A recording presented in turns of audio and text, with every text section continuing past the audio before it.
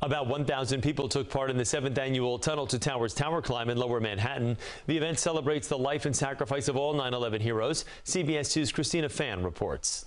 They started climbing before the sun even rose, scaling 104 grueling floors, the equivalent of 2,226 steps, to finish on the top floor of One World Observatory.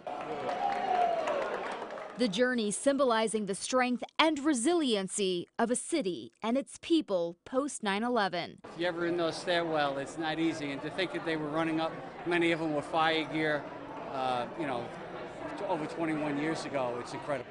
Every year, 1,000 participants sign up for the Tunnel to Towers Tower Climb to support America's heroes.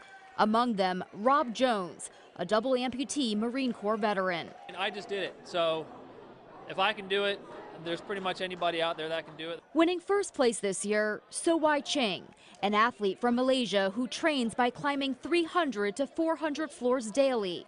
But to him, this wasn't just another sporting title. The reason why I'm doing this every year is to actually honor the sacrifice from the um, police officer, the officer who actually got into the stairs and tried to save people out.